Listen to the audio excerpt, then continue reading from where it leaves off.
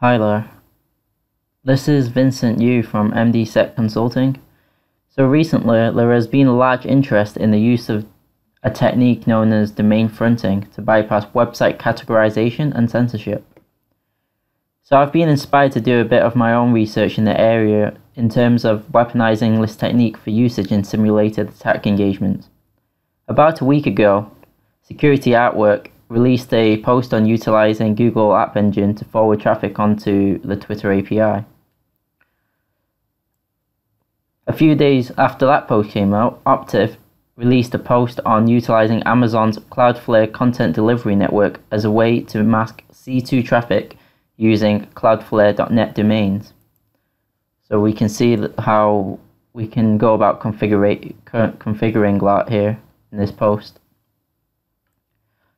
Now, just today, Raphael Mudge, the creator of Cobalt Strike, released a video demonstrating the abuse of Amazon's CDN using a domain of a0.awsstatic.com that would allow an arbitrary host header to be set to instruct the CDN to retrieve content from your particular instance. This was already demonstrated, so you can view his video for any further information. In this video, I will be showing you the effort of 30 minutes of extra research that allowed me to establish an egress channel using further popular, popular trusted domains on the top 1 million domains list. So firstly, I have set up an instance of Cobalt Strike, all hooked up as previously instructed by Raphael Mudge. So I've got the listener running here with my, uh, with my CloudFront instance and some beacons. I'll talk about that in a moment. So you might see that there's some interesting be uh, beacon domains here. With I've got static.tumblr.com, cdn.az.gov, that's the Arizona government, and media.tumblr.com.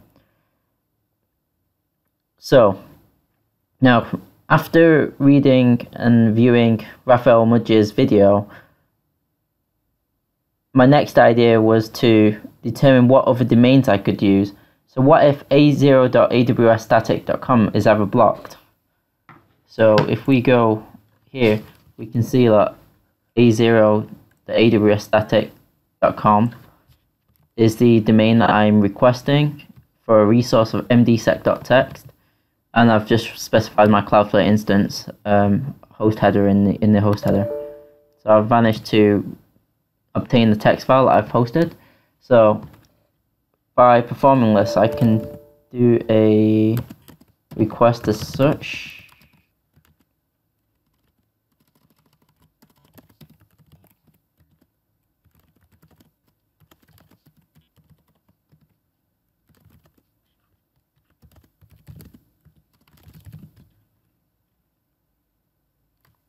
So let's just modify this here. So I've just written a quick script that will request the resource from every domain. So if I do an echo i echo j here, alright. So this should this should be good. Okay, so let's run the script.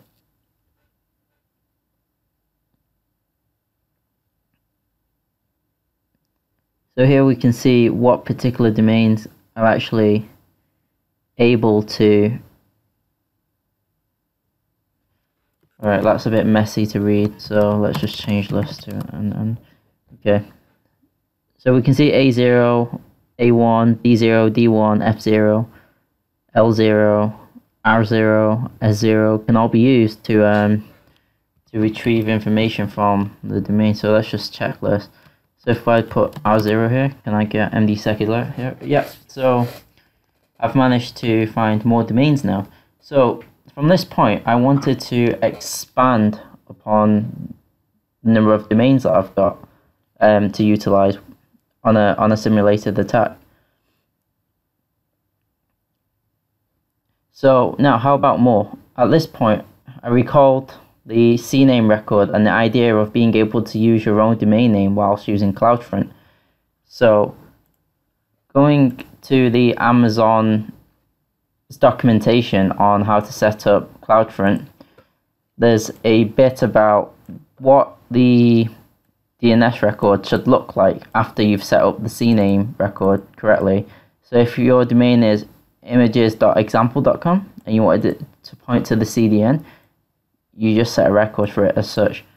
Now I just scanned the top. Um, I just scanned a DNS server for the top one million domain uh, DNS records and found quickly found quite a few interesting ones, which I will share in this video. So I've got a list here. So now if I cut this output for specifically, let's see, C names. Right, so let's have a look at gov. Let's see what government domains there are. So I've got cdn.arizona.gov. So that's the Arizona government. So now let's just check that it actually works even though there is a CNAME record for it. So if we paste in the domain name, we should get mdsec is here. So as displayed, we can see mdsec is here. So now if I go back and put Tumblr, there's media.tumblr.com and static.tumblr.com. So if I go here and just type it in,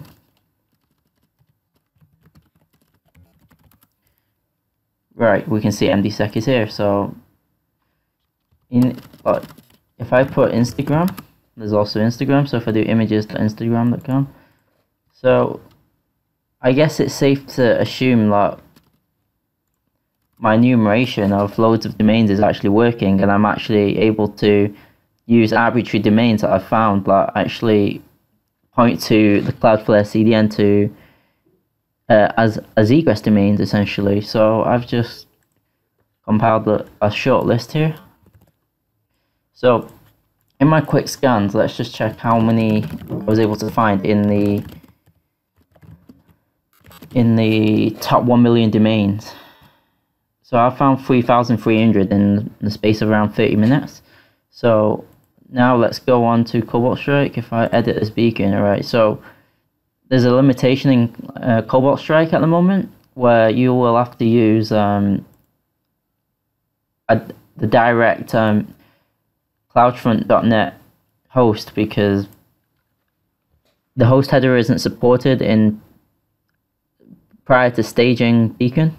So yeah, right here we are. So if we continue to the next stage, here we can put a large number of domains that we want to use for beacon tasking.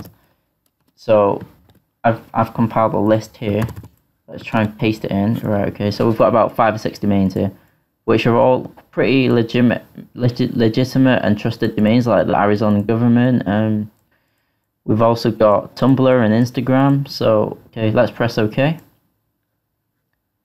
I've also got a PowerShell one-liner hosted, so let's copy that and sure, let's post it here. Right, let's just let's just say that it's actually working. Let's put static.tumblr.com just to prove that we can even stage using this. Right, so I've ran it. We'll open Wireshark to have a look.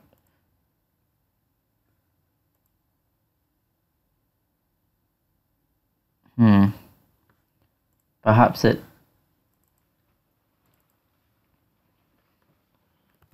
Right. Okay.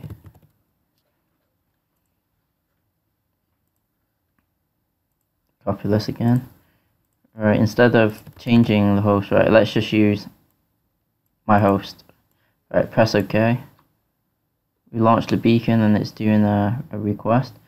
Okay, we can see that some DNS um, lookups were made. There's a DNS lookup for u.gov.com, az.gov, uh, cloudfront.net.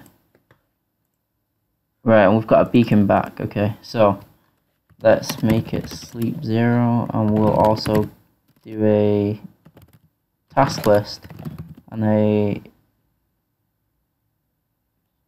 directory listing. Right, let's just do that. Now if we go back to the victim host, we can see that it's actually making use of all of these domains to do its to do its um, egress. So going back to HTTP, we can now just click on one of these. We can see what the traffic should look like. So the host, as expected, is cloudfront.net and yeah we've actually just managed to use a number of IP addresses as well so if we go back here we can see that there's 102 here and potentially there's also 89 there's one 166 103 so yeah thanks to the cloudflare cdn we've got a large range of ip addresses like we'll task to. Alright that's it for now. I just wanted to demonstrate that there is actually a large number of hosts that we can now use for egress um, domain names that we can use for egress. So actually just as a last thing, if I do a dig to tumblr.media.tumblr.com, we can see that the CNAME record is right here. Right, that's it for now. Thanks a lot for um, watching the video. Bye.